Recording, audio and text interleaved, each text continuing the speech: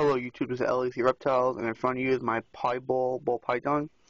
Um, he just got a shed last night, and he's looking really nice. Like he has those nice oranges, and he's like keeping a nice, really nice color. You know, his white is re becoming really white.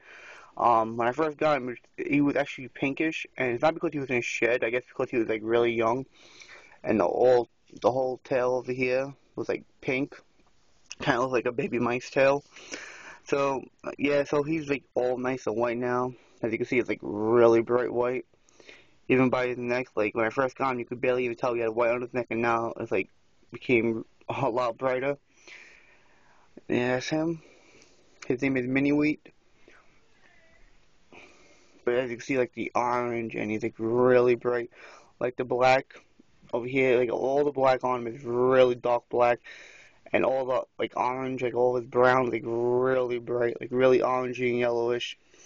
Um, by the way, guys, um, here's a hamster, I'm a armadillo lizard, my tarantulas in in this in there somewhere. Um, I'm gonna be taking everything out of my closet completely and making this a reptile room. I'll keep you guys updated on that and how that um, works out. But this pie is becoming really nice, getting really big. I'm probably to feed him later on today.